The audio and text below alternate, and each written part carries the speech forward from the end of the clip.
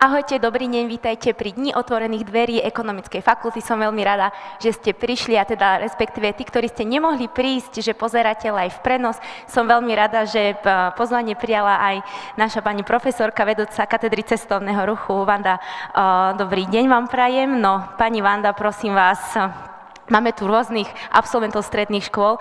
Prečo by si mali vybrať e, ekonomickú fakultu odbor cestovný ruch? Čo ponúkate navyše pre uchádzačov? Tak, pokiaľ ide o naše štúdium, tak uh, patrí medzi štúdium, štúdia na našej univerzite, ktoré má jednu z najdlhších histórií. Tá naša katedra existuje už viac ako 55 rokov. Ponúkame štúdium vo všetkých troch stupňoch študijných programov, na bakalárskom stupni, inžinierskom stupni aj doktorantskom stupni. Ako jediný v strednej a východnej Európe ponúkame uh, medzinárodnú certifikáciu nášho študijného programu, ktorú ocenila aj medzinárodná, alebo teda Svetová organizácia cestovného ruchu UNWTO. Je to veľká konkurenčná výhoda pre študentov pri vstupe na trh práce. A rovnako ako jedný z mála v slovenských pomeroch ponúkame možnosť dvojitého diplomu s Nemeckou univerzitou v Ajštate, Ingolštate. Naši študenti môžu benefitovať z toho, že študujú vlastne naraz na dvoch univerzitách a po obhajobe práce získajú dva diplomy.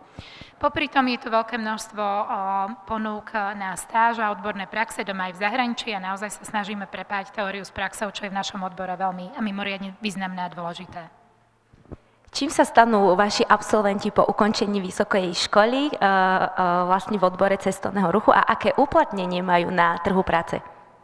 Ďakujem veľmi pekne opäť za tú otázku, pretože to je asi to najdôležitejšie, čo toho uchádzača zaujíma, či môže byť. Takže náš absolvent alebo kvantum absolventov sa uplatnilo práve v odbore na pozíciách stredného alebo vrcholového manažmentu v malých a stredných podnikoch cestovného ruchu, ale aj v nadnárodných sieťach, povedzme hotelových sieťach. V ostatných rokoch si nachádzajú svoje uplatnenie v organizáciách destinačného manažmentu.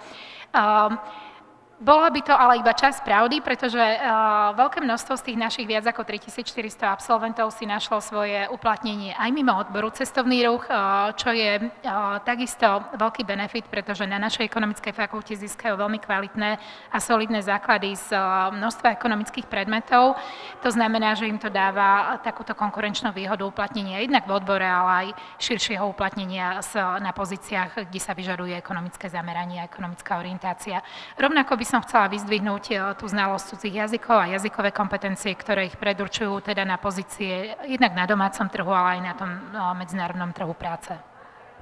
Dobre, ďakujem pani profesorka Maráková a ešte máme tu jednu otázku. Čo by ste odporúčili vysokoškolským študentom, aby určite využili, aby určite skúsili počas štúdia u nás na katedre cestovného ruchu? Tých možností je veľmi veľa a naozaj závisí od aktivity a také iniciatívy každého študenta, ako všetky tie možnosti chytí, tak povediať, zapače si. Takže eh, jednak by som odporúčala každému študentovi využiť tie relatívne dlhé letné prázdniny na to, aby získal eh, prax aby eh, nesedeli doma, aby vycestovali povedzme aj do zahraničia, aby pracovali v podnikoch cestovného ruchu, pretože ten odbor naozaj dostanú nejaké teoretické základy, ale tá, to poznanie a to formovanie osobnosti je komplexné iba v prípade, že ten študent na sebe pracuje a praxuje v odbore. A druhá taká vec, ktorú by som mu odporúčila, je využiť množstvo mobilít a stáží, ktoré takisto naša fakulta ponúka vďaka dobre vybudovaným zahraničným vzťahom a absolvovať čas štúdia, minimálne jeden semester, ale ideálne možno jeden rok v rámci bakalárskeho a rovnako aj v rámci inžinierského štúdia na Partnerskej univerzite v zahraničí.